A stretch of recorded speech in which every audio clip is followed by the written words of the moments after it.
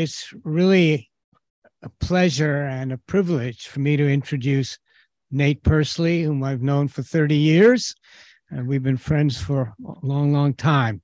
And I'm going to give you a very brief introduction because his career is varied and very distinguished, but we don't have, I don't want to steal a lot of his time. So here goes. So Nate Persily is the James B. McClatchy Professor of Law at Stanford Law School, and he's the director of the Stanford Cyber Policy Center. His work has revolved around the law of democracy, which is the title of his leading co authored case book on the subject, now in its fifth edition. And that book the, the law of democracy covers voting rights, redistricting, campaign finance, and the regulation of political parties. In addition to extensive writings on these projects, Nate is a practitioner as well, having served as the senior research director of the Pres- Presidential Commission on election administration and on numerous occasions as a court appointed special master to craft redistricting plans for Congress and state legislatures. And he must have not angered too many people because he did this in Georgia, Connecticut, Pennsylvania, New Jersey, and New York. And, uh, he, you know, they kept asking him to come back. His most recent work as director of the Cyber Policy Center has focused on the way new communication technologies affect democracy. And he's co editor with Josh Tucker, sitting there, um, of the Cambridge Press book, Social Media and Democracy. And his teaching includes courses on free speech, democracy, and the internet. And he's a practitioner in this field as well, having written the initial draft of the Platform Accountability and Transparency Act, a bipartisan bill introduced last month in the Senate. And this bill would require large social media companies to share data with outside researchers. So, more work for you, Josh. Um, and however, I'll have to say this his greatest claim to fame is that he received his PhD in political science at UC Berkeley some of his teachers are in this room, which he frequently says, and this he's saying this himself, was the most enriching academic environment he has experienced, which is saying a lot since he's been a professor at Penn and Columbia, as well as a visiting professor at many of the nation's top law schools. So thank you for remembering us, and thank you so much for coming and delivering this talk. Thank you. Well, well, thank you so much. Um, Jack was on my dissertation committee, uh, and we shared, you know, many a drink in the faculty club, as with as most graduate students here can attest to uh, during their time, and so have very fond memories of this department. And and it's true that I, that it really was of all the places that I've uh, been, uh, this was the most inter, uh, enriching intellectual environment that I've experienced. Um, I'll say that uh, you know, the burning question is why am I wearing a tie? Uh, uh, and and the answer was I figured as a Stanford professor coming up to Berkeley, I had to wear the Berkeley colors. So either either I was going to wear this tie or I was going to have to find a yellow sport coat, and I thought, you know, uh, that that that uh, that was unlikely. Um, now, now there's a there's a challenge with uh, being the lunchtime keynote here, which is that there's a risk uh, that you could be preempted, and that that did happen uh, today. So a lot of what I was going to say was was said before uh, in the in the original panel. So I thought, as with Josh, I'll, I'll just change the topic.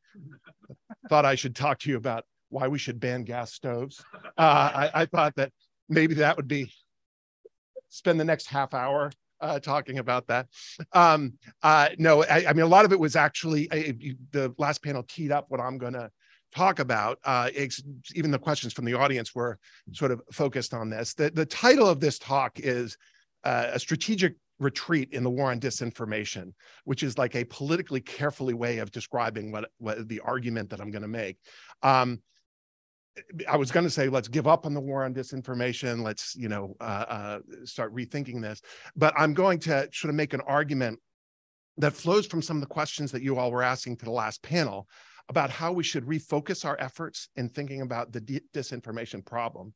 But in order not to repeat what just happened in the previous session, I thought I would, uh, you know, put my lawyer's hat on and, and policy hat on and talk a little bit about the policies dealing with disinformation uh, and also some of the cases that are working their way up to the Supreme Court that are going to deal with uh, these issues of intermediary liability and, and uh, also what's happening in Europe.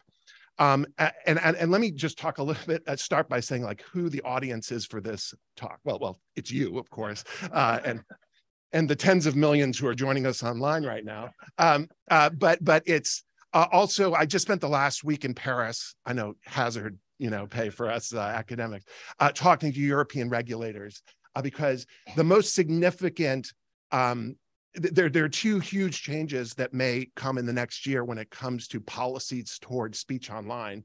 The first is the Digital Services Act uh, coming out of uh, the EU, which has been passed and now is going to be implemented. I'll talk a little bit about that at the end. And the second is a set of cases working their way through the Supreme up to the Supreme Court, dealing with you know, you've probably heard of Section 230 of the Communications Decency Act, as well as these laws that are, happening in Florida and in Texas. So I'm gonna I'm gonna wear lots of different hats uh, throughout this presentation. I often say, and some of you've heard this before, you can tell when I'm being a political scientist because I have data without opinions. Uh, you can tell when I'm being a law professor because I have opinions without data. Uh, and then you can tell when I'm being a lawyer. Well, it depends what my client's telling me to say. So so uh, I'll, I'll, wear each one of these hats at different stages, and then in the question and answer, you can uh, try and reconcile them. Um, but but I do, in thinking about sort of the audience for this, it is we're at a critical stage in thinking about policies toward content moderation and disinformation online, and so uh, I'm I'm sort of directing this out not just to the people in this room, but also uh, the regulators who are now thinking about these questions. Um, as well as the commentariat in the way that we've been talking about disinformation, because I think we have been talking about it in the wrong way. And I think a lot of that came out in the previous uh, panel, as well as in some of your uh, questions. And so let me just, what I'll do is I'll, I'll give you the basic argument as to why I think we misunderstand the disinformation problem and why we need to refocus our efforts on harm. And then secondly, what are the challenges in policing disinformation, challenges that are mainly faced by the platforms themselves. Um, then I'll talk a little bit about the new technologies that are coming out and why the disinformation problem is actually probably going to get worse. And then finally, I'll, I'll talk more about these policy efforts and these cases that are winding their way through the courts. Now, let me, let's just start with some disinformation basics that have already been covered, which is that, look, we are awash in disinformation. There is a lot of it out there. But as Josh said in, the, in talking about the denominator, right, there's a lot of a lot of things out there uh, online. Um, and so there is a lot of disinformation. I don't want this speech to be misinterpreted as minimizing the problem. Um, but most of the lies that are out there online are harmless. And so you're operating in a, a speech environment in which you have a lot of disinformation out there, but you only really care about some of those lies. And if you're going to develop a system to deal with disinformation, you have to not just think about um, whether something is true or false, but you have to decide, as Jack was saying, what you really care about. And so no one really wants to subject all for Facebook posts, for example, to a truth test. And what we really care about is about those lies that might cause harm. Uh, as as uh, several of the scholars here, and, and, and, Brendan's written about this, and many others who have talked this afternoon, um, for most Americans, disinformation represents a small share of their uh, political news consumption or just news consumption. In fact, news consumption represents a small share of their media consumption. And even thinking about of the share of the news consumption, how much of it is disinformation, it's a small share. But for some people, like the, the group, the, the small group that, that Josh looked at or or you know there's so many studies on this at this at this point um, that it's a pretty consistent finding with every type of online harm is that there are small communities that consume a lot consume and produce a lot of this problematic content. Uh, and so we sometimes talk about these people as say disinformation super spreaders. Same could be say about said about hate speech these kinds of things. Um, and so the, the the normative argument i want to make from the beginning is that look, we cannot develop a lie detector for the internet and even if we could, it would actually not solve the disinformation problem. That I think will be a little bit more provocative, and but I hope to convince you that. And the third thing is that we really need to refocus our efforts on harm and not try to police the distinction between what is true and what is false. And that is not an easy task in and of itself, right? I mean, policing harm is is is not going to uh, make this an easier problem for us. But that is what that is the business that internet platforms are in already. And it's something that where we really need to focus. So let me start with just some sort of um, what, we'll call you know pre-buttals here uh, to what I think would be uh, obvious objections to this argument. Look, I, I don't want I, I'm not trying to minimize either the harm that disinformation is causing or its pervasiveness. And so whether you're talking about beliefs about COVID or about election denial or about climate change, there are large shares of the American population that believe in false stuff. All right, that is conceded. And there's a lot of, as I was saying before, a lot of false communication online. And you know th- that is that is a problem that we need to deal with. Um, how we deal with that, I think, is is extremely difficult, as Adam was describing, um, because you see disinformation causing real harm in the outside world, right? So whether you look at, you know, Pizzagate leading to someone to shoot up a uh, pizza uh, parlor, Alex Jones, and what happened to uh, the the Sandy Hook parents, um, possibly election manipulation. Though, as Josh uh, pointed out, maybe not so much in 2016, but you do see this around the world. Um, as well as the fact that look, we as law professors, lawyers, we deal with the problem of false speech in certain contexts as uh, causing real harm, whether it's fraud, or whether it's defamation or whether it's falsely shouting fire in a crowded theater, right? There are instances in which we really care about uh, disinformation. And I think you know most of what we've talked about here today uh, so far is on what's happening in the United States. Uh, and as bad as the problem may be about just uh, with respect to disinformation in the U.S., it's probably even worse around the world, especially in places that do not have a kind of pluralized media ecosystem and uh, places like Myanmar, where Facebook is the internet and is in many ways like the main source of media for people. And so, I, I again, I don't want to minimize uh, the the how serious a problem this is, and just to, to be a little more prescriptive. And I do think we need to flood the zone with reliable information at every opportunity, whether it's counteracting false beliefs or just as a general rule to try to amplify and highlight uh, reliable sources of information.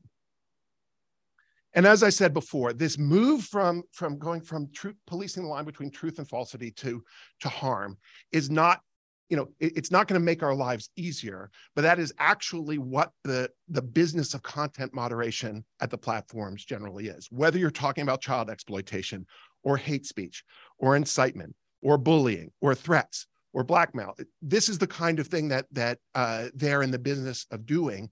And so if i'm right or if i can convince you that the most important thing is to deal with the types of speech that are causing harm really whether they're true or not um, that that is sort of a familiar problem again with sometimes huge free speech costs right? If you if you if you end up censoring based on harm but that is i think the the right approach here.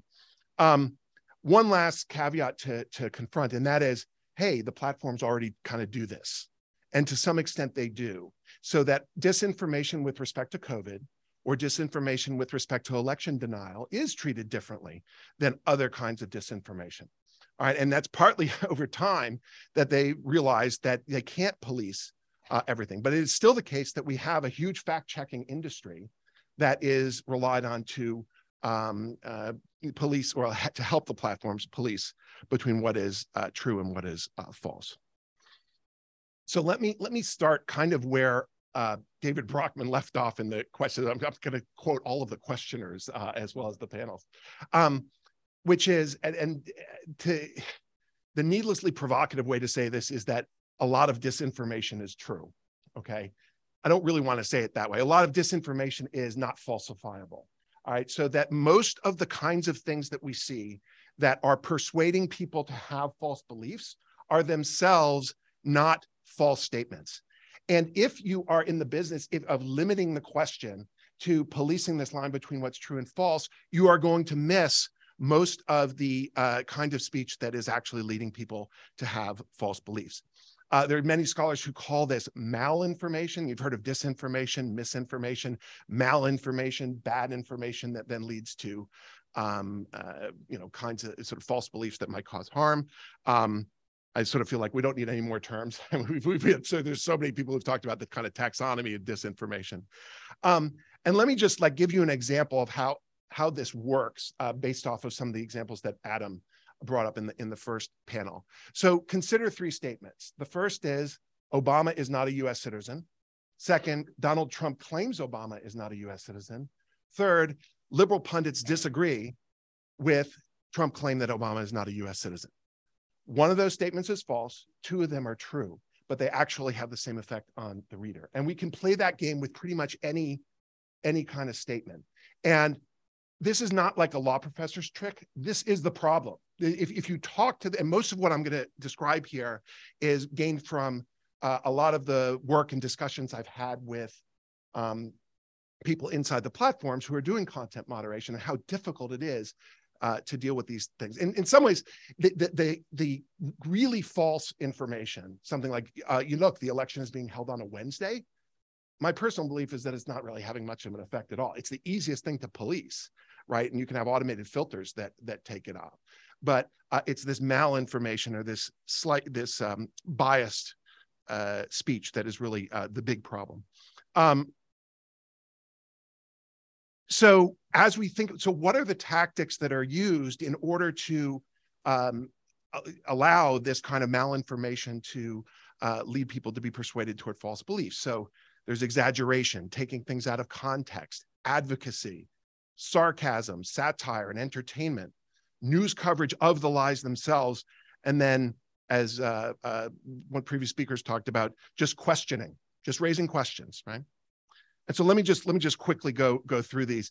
Um, if you look at at uh, sort of you know the field of exaggeration, um, I mean, Josh talked about how uh, his his article is now being exaggerated. People will point to it and they will say, Tucker et al. prove the Russia story was a hoax, right?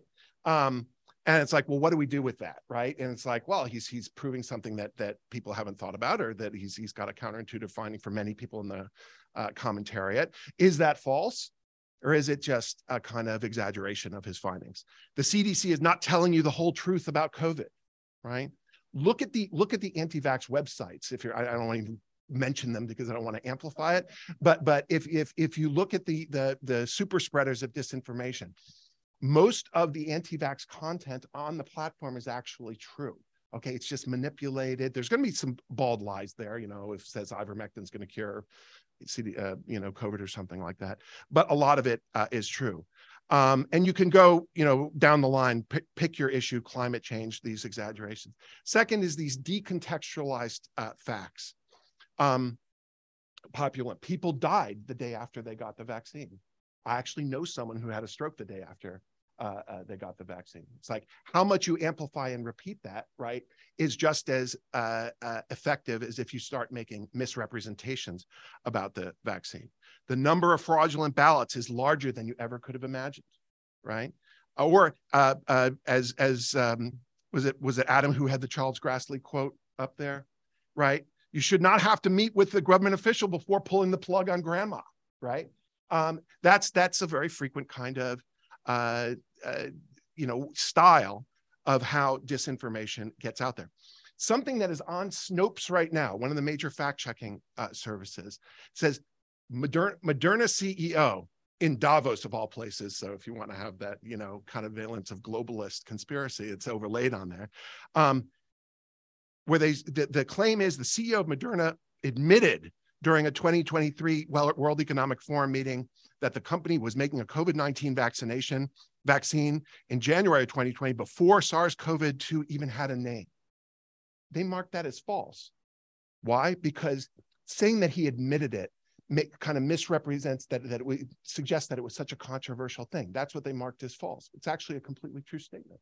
Um, he did actually admit that. It wasn't, it's not a problem though, but it's the way that that story was then shifted in order to sort of decontextualize it and then suggest that there was a conspiracy. Third example is, is just general advocacy, you know, something that we would ordinarily protect as kind of core speech uh, rights. Protect yourself, don't get the vaccine. Stop for pervasive election fraud, report any illegal voters. You know, it's time to tell the truth about, you know, Bill Gates, do your, do your, uh, uh, uh you know, George Soros, go through the, the list of them. One thing that I think is underemphasized is the role that satire, uh, sarcasm, snark, and entertainment play in terms of pervading disinformation that the line between entertainment and news is increasingly blurred. A lot of people have written about that uh, and uh, kathleen hall jamieson has a whole project on that. Many of you have read this. But look for example at a lot of the content that the russian trolls that josh identified what they put out in 2016 look at the almost uh, i think it's roughly 80% of them are non-falsifiable statements. Things like cartoons where Bernie Sanders is this really sort of uh, you know uh, strong figure and has something about him, or you know a fight between the devil and God as to who is endorsing you know the God God is preventing Satan from allowing Hillary Clinton to become uh, president, right? It's like how do you fact check that, right? Uh, and so so that that is a you know a frequent uh, kind of thing. Look at whether it shows if you look at some of the Fox News shows that are that are kind of bleeding over into entertainment and snark and sarcasm. Jon Stewart, Dennis Miller, uh, all of these are, are examples.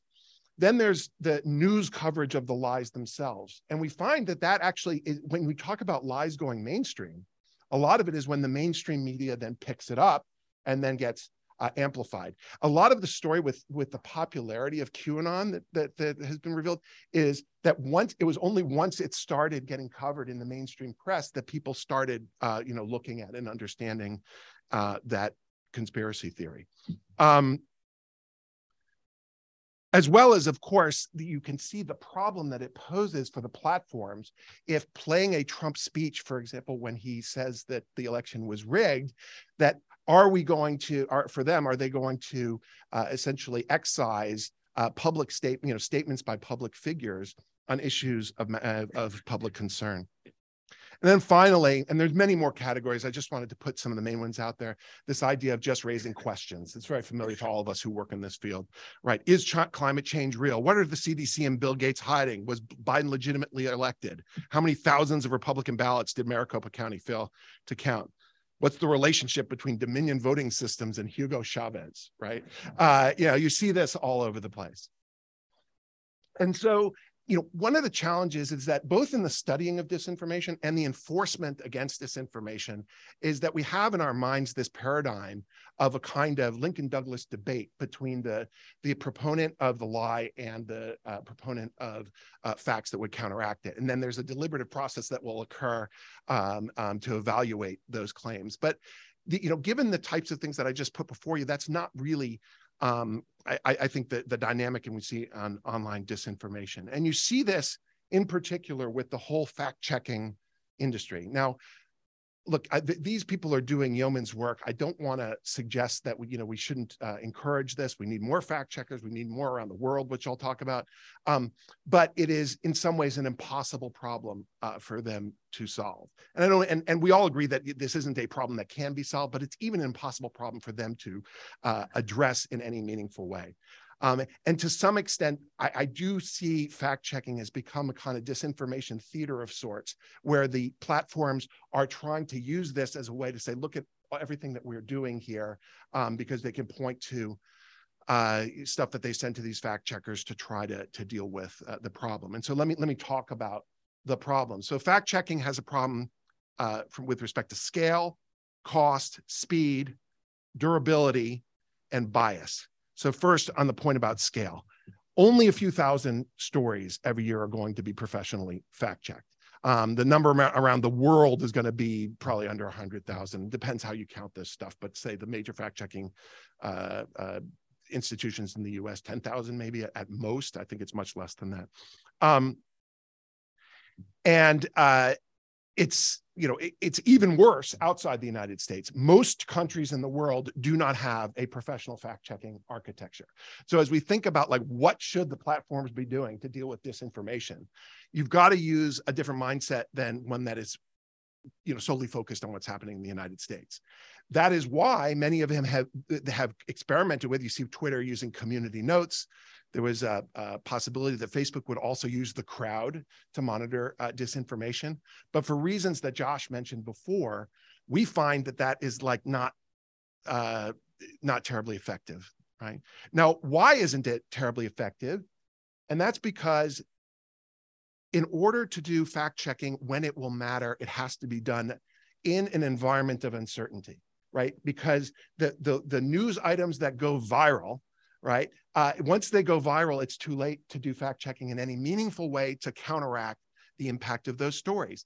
So it's not enough that you, even if you dedicated all the resources to having fact checking in that first 24 hours or 48 hours after uh, a news item is out there, it's extremely difficult in that environment to actually to assess whether something is true or not. And as, as Josh was saying, uh, if you do, if we have young, if we have um, uh, users search for evidence, they often find confirming evidence uh, for the false claim.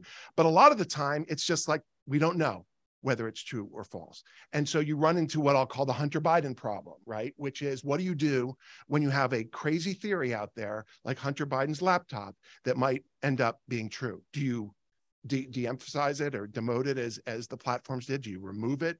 Do you uh, just let the you know marketplace work with, with that item, um, no matter what in the consequences? Uh, but that is a very familiar problem for the platforms, which is that they are trying to police disinformation at a time when it is most difficult to do so. And so all of these studies that look at Earth is flat kind of disinformation seems to me totally beside the point, right? Something that's sort of historic that, that's happened a long time ago. It's this, the question is what can happen in the wild in a way that will actually go after uh, lies that are occurring in a field of uncertainty. This was the data void point that was also made before. Um, then the last two points on this, which is the durability and bias. So the durability is already, we've already discussed this, which is that even if you can accurately fact check, especially if it's a high salience news item, that it's going to be very difficult for the fact check to win out in the kind of online marketplace uh, and debate. And then finally, we cannot uh, ignore the fact that Republicans actually, I think, rightly believe that the most of the people who are doing fact checking are liberals. And it's a typical kind of criticism that you get um, um, of the media generally.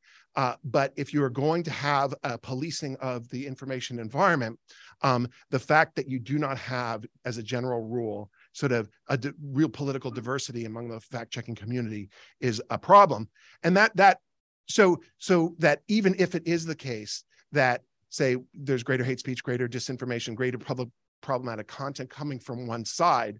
Um, the fact that the uh, that the that both the effect of these fact checks as well as the personnel who are doing that principally come from one side is is a, a fundamental problem. And so there are real costs uh, to policing disinformation in this way. There's the actual cost, uh, as I was saying before, about paying for the fact checks and all of that.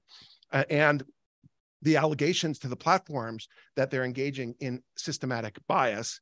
You can see this most recently with the, the Twitter files that that and, and the way that Elon Musk is framing the Twitter files actually in the way in the way that they're released. Um, there's also the risk, as as was true with the Hunter Biden laptop story, or with um, you know certain uh, uh, stories around COVID that something that is seen as disinformation and policed as disinformation at time one turns out to be true or at least not falsifiable at time two.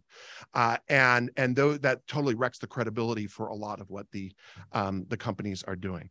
Um, and the final point uh, which I actually I don't think was made in, in the last panel, but I know uh, that they those folks have, have done some foundational research on this that the more that we are policing the line between true and false and trying to highlight how much disinformation and maybe even exaggerate how much disinformation is out there, that people are going to become more suspicious of the truth. And that um, I think most of what we've learned over the last decade is that um, people are getting better actually at trying to discern false stories, but they're becoming worse at discerning what is true or not. And that is a cost to democracy as well. Uh, and so the, the moral panic around disinformation, as much as I said it is a real problem and it is a real problem around the world, um, that the, you got to make sure that the cure is not worse than the disease. But I also I want to reemphasize this is not saying that disinformation is not a problem. It's that we need to start focusing on the uh, on the harm that disinformation causes, whether it's, for example, people or whether not just the harm that disinformation causes, the harm that certain types of speech categories cause, whether it's election manipulation, COVID uh, disinformation, COVID information or slanted information, or any number of other things. Now, let me tell you why I think this problem is going to get worse, as well as the uh, that the, the, the enforcement is going to get even more difficult. I'll just talk about this from the standpoint of the new technologies uh, that are that are underway, and then I'll talk a little bit about policy. The first is uh, the rise of virtual and augmented reality. I'm at least someone who doesn't think the metaverse is like going to descend and we're all going to be using it within the next few years. But but suppose you're one of those people. Um, uh, what does it mean to police disinformation in an artificial environment? I mean, the whole environment is actually a lie, after all. Uh, and so, what it means virtual reality, right, where you're policing what is truth. There's there's a kind of fundamental disconnect there, as well as the challenges where a lot a lot of what's happening is going to in the metaverse is going to be evanescent, and um, uh, you know, it's going to be happening in real time. And they're talking about how do you do real time content moderation uh, in the metaverse. So I think virtual and augmented reality poses a kind of fundamental concern from a disinformation perspective. The second is the rise of uh, blockchain technologies. So um, it's always a kind of a problem when a Stanford professor is now talking about blockchain technology because uh, uh, uh, one of the chief chief uh, targets of the scandal is now under house arrest 100 yards from my office at stanford. So um, uh, and i don't want to i also don't want to as with the metaverse i don't want to overstate you know the significance of blockchain as as providing some kind of foundational change to the internet. But blockchain is is is one of several different types of decentralized uh, technologies and the policing of disinformation in a more decentralized say social media ecosystem becomes increasingly difficult. If you think it's a problem for the platforms to police disinformation and content when they're actually in a position of authority imagine when you have it uh, distributed among a, a, a network which is deliberately designed to remove the power of a central moderator. The third is what's often called generative AI, but I call uh, automated creativity, which is the, the use of things like ChatGPT and DALL-E and Midjourney and these other kinds of technologies. So um, I, I, don't know about you, but I mean, I, although I'd seen a lot of stuff with these large language models, the the when ChatGPT came out, you know, and was become popularized two months ago, it was for me a kind of aha moment about the future of technology. And and like you know, you talk to techies, they're like, oh yeah, we've known this all the time. But but I think you can start to see the the sheer um, expansive uh, effect of, of this new technology. One area is in the area of disinformation, and we have a report out from the Stanford Internet Observatory last week. Um, you know, disinformation, creating false websites, creating false text is cheap now. All it takes is you to type it in, but it takes you that, right? It takes at least some effort of a human being to generate some of these false stories. Once you have AI generating them, then um, there's there's a real challenge, I think, to sort of maintaining the integrity of the uh, information ecosystem. And so, um, uh, you know, th- there are a lot of people who try to think about ways to to combat this, to try to to uh, put the genie back in the bottle or to try to uh, uh, uh change the kind of information that is out there to, to fool these kind of tools but it's an incredibly adversarial environment where i think um, generative ai is is going to end up you know sort of winning the day. So since uh, i've got a little over time i want to let me talk about the policy issues uh, uh, and and what's happening in, in court. Um, well, first, let, let me let me just talk about the DSA. I want everyone to kind of like pay attention to what's happening in Europe because it is so important for the future of the internet. Um, um, the the the and the you know the way that the Europeans have done this, you know, is, is that the DSA, the Digital Services Act, and the Digital Markets Act, which is passed alongside it, um, they they are you know regulate they've done some very important things and uh, these are these are very big laws but let me just highlight a few things. They're forcing the companies to do systemic risk analysis to look at how their products might be causing risks across a number of dimensions right? And a lot of it is going to be relevant uh, to disinformation. The companies then have to come up with a plan for addressing those systemic risks and they'll be held accountable uh, to them. These they distinguish between what are called VLOPs very large online platforms. Uh, you can, you know, use that at your next cocktail party. Uh, uh, but and then and then the the smaller companies. But how the firms react to the DSA requirements on systemic risk is going to be extremely important, not just to the regulation of speech in Europe, but actually around the world, because part of what we've learned from European privacy laws is that um, that the platforms just say screw it, we'll just apply it around the world. So the GDPR, which sort of prominent uh, European privacy law, has had that uh, effect. So that's what's happening in Europe. I think it's, and I'm happy to answer questions since I was uh, sitting with the regulators last week in uh, in Europe and talking about it. Second thing I want to talk about is what's happening in the U.S. and that we have what those of us who work in the free speech and and and uh, internet regulation area, you're you're having what uh, what would have been 15 years of case law that happened in Europe being jammed into six months in the United States. Okay, on fundamental questions about the uh, rights and responsibilities of these internet companies. Um, everyone or many of you have heard of section 230 of the communications decency act right? This is the the provision that basically immunizes platforms for user generated content on the platform. So facebook is not if you go out on facebook and you defame me face uh, you know don't try this at home. Uh, uh, uh, the the um, they are not live i can't sue facebook for the defamation. But there's this case called gonzalez versus google briefs are due, actually were due last week and oral arguments a month or so. Um, the which says th- that there was a terrorist attack in Paris. Um, some kids were killed. The parents are suing YouTube and Google uh, and Twitter and, and Facebook, but but the Gonzalez versus Google is about about YouTube, um, which and saying that these terrorists were radicalized on YouTube, and so therefore the um, the the YouTube is liable for damages uh, caused by uh, the terrorist killings. Uh, this is kind of a frontal assault on Section 230 of the Communications Decency Act. Um, and if it goes through, then you would expect the platforms to engage in a lot more censorship. What's interesting, this is this is true eh, both in, in Congress and at the Supreme Court, um, is that well, particularly in Congress, right? The Democrats and Republicans both hate, hate big tech, um, but they hate it for different reasons.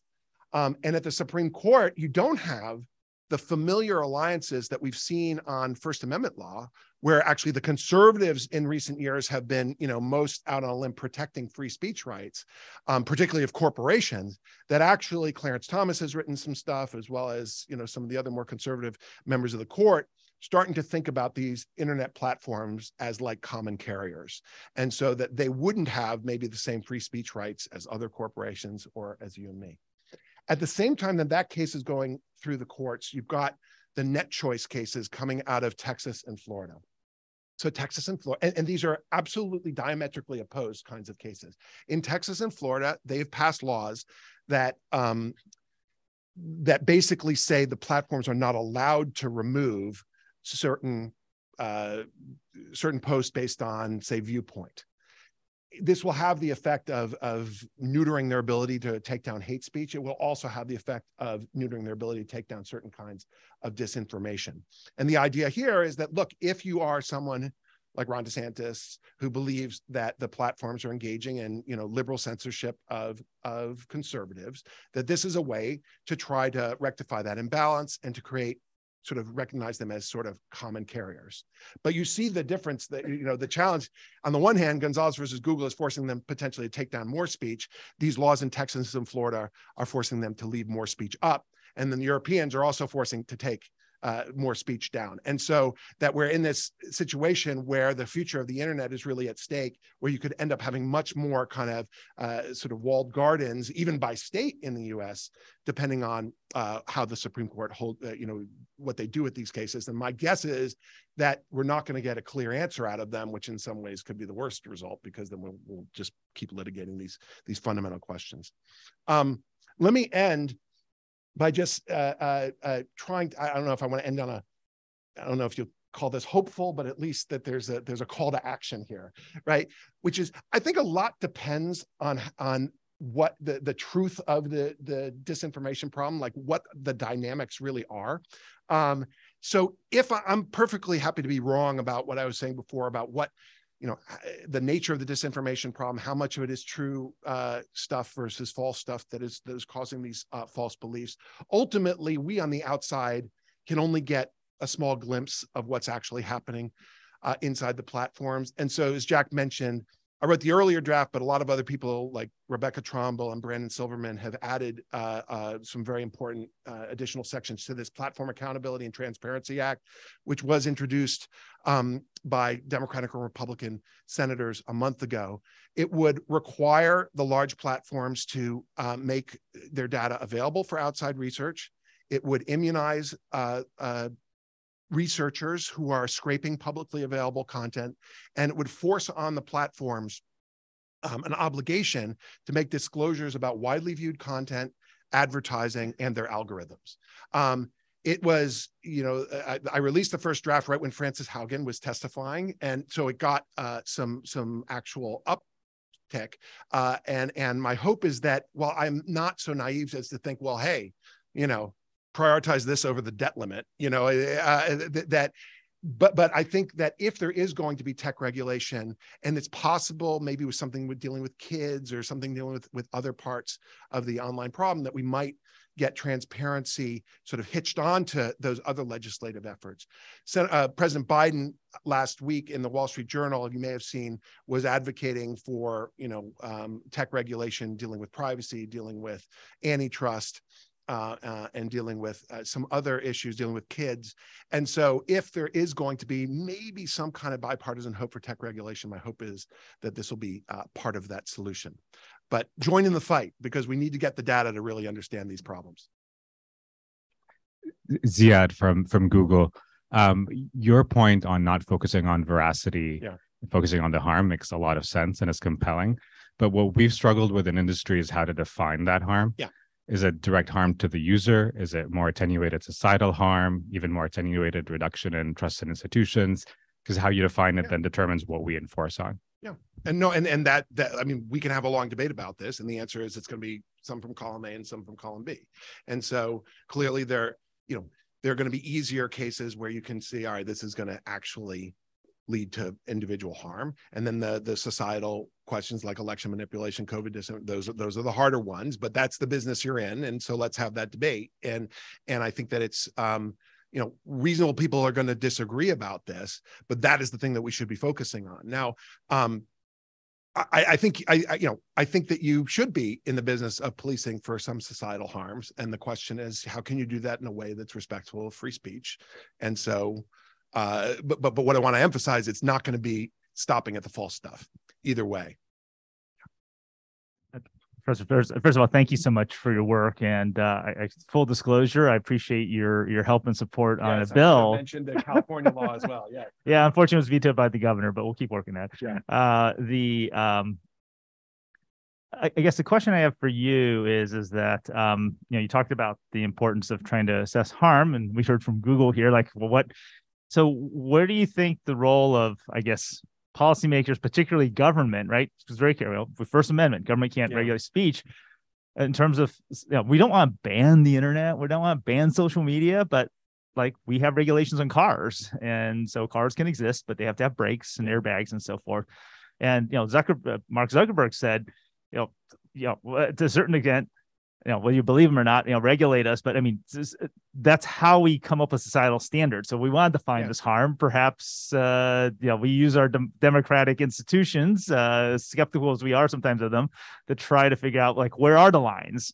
Uh, can you speak to, and certainly uh, you touched on what's happening in Europe. Can you speak to what you think the opportunities are without, of course, crossing those constitutional boundaries uh, for uh, setting policies to help provide guidance to platforms around where you know what are the harms that they need to try to you know uh, stop.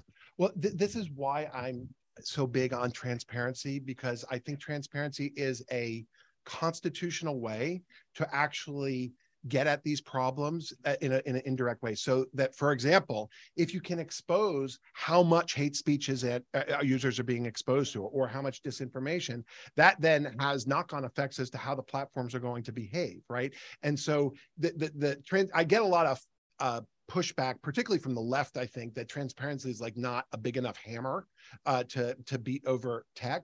But actually, I think it's it's both foundational for us to regulate sensibly, but it's also in and of itself will have consequences for the way they behave. So, I mean, you've heard me sing that tune before. Beyond that, though, there are things that you could do on advertising that I think would be very important because Google and Facebook are first and foremost advertising companies, and they're advertising companies with search engines or um, uh, you know social media uh, uh, corporations attached to them. And so a lot can be done on advertising as well as you know policing the, the you know dealing with some of the content issues there. Um, and there are a few other things like that dealing with privacy dealing with antitrust where where we might have an impact. Okay. Nate, yeah, welcome back. I had a flash for a moment of sitting over at Moses Hall debating campaign spending reform and whether uh, reform is a good idea. So but well, it was always said that the key to passing the American politics exam at Berkeley was just say change is bad. Uh, but but but uh, well, maybe we can start at that point. Uh, because I wanted to ask you about in Washington, should we be looking at the Congress? Should we be looking at the FCC? If you might drill down and tell us who the players are, or is that the right way to go about changing 230 or as so many people yeah.